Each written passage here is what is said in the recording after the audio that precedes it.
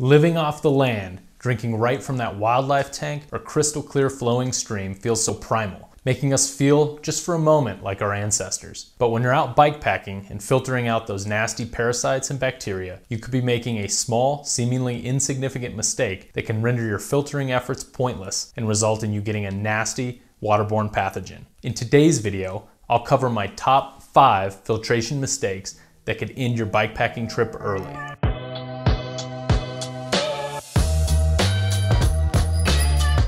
Hey guys, it's Dylan with the Seasoned Bikepacker, where I share unbiased reviews, tips, tricks, and general information about bikepacking gear, routes, and strategies. If you're a bikepacking vet, you'll likely know all about the filtering process. But if you're new to bikepacking, let me give you a quick rundown on water filtering. Most off-road bikepacking adventures bring you to some pretty amazing places and are usually remote and often have limited access to potable water so it's up to you to find a natural water source like a wildlife tank, stream, creek, pond, river, or natural spring.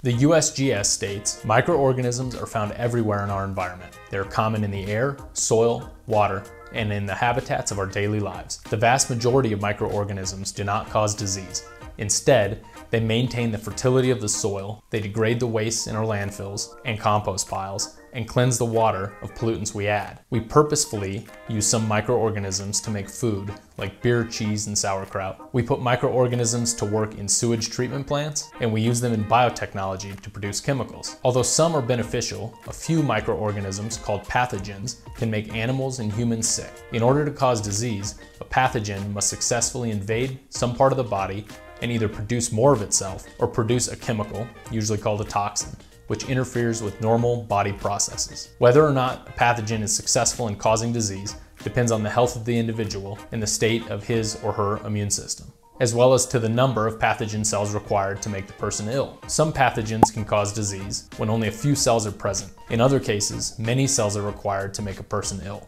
Children and elderly persons are more susceptible to many pathogens than are young or middle-aged adults. Waterborne pathogens include disease-causing algal toxins, bacteria, viruses, and protozoans that are transmitted to people when they consume untreated or inadequately treated water. Two such protozoans, often seen in the news, are Giardia and Cryptosporidium. Their consumption can lead to severe problems of the digestive system, which can be life-threatening to the very young, very old, or those with damaged immune systems.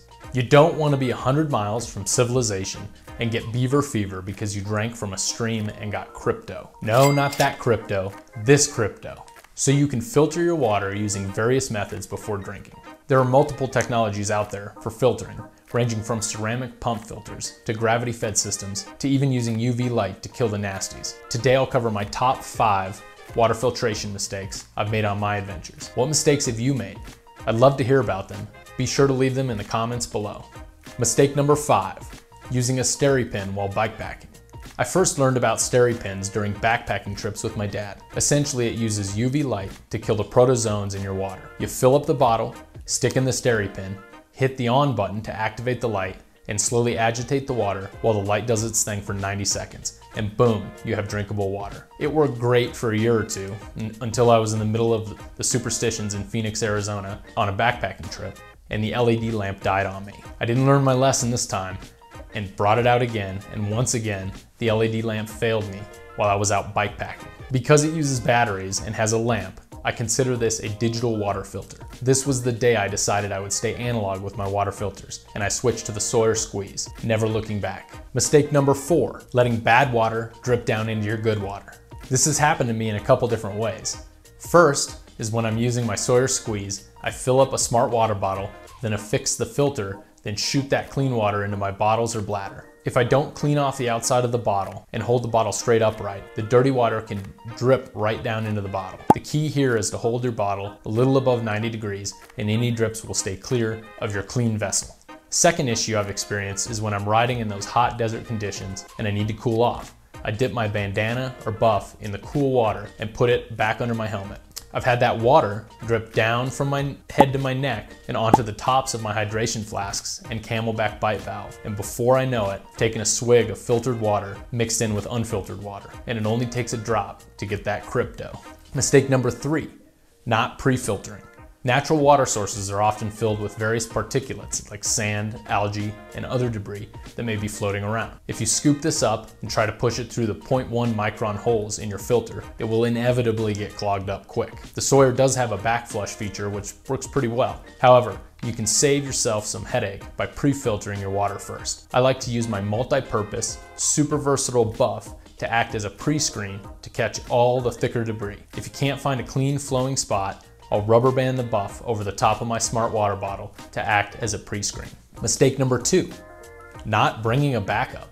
Bikepacking is a balance between minimalism and redundancy. I like to be redundant with key strategic gear like navigation, flat tire repair, and yes, water filtration. So I bring some chemical water treatment as a backup just in case that filter decides its days are done. I carry these Aqua Tabs water purification tablets. One tab treats three quarters of a liter of water. I drop it in and wait 30 minutes, and I'm all set.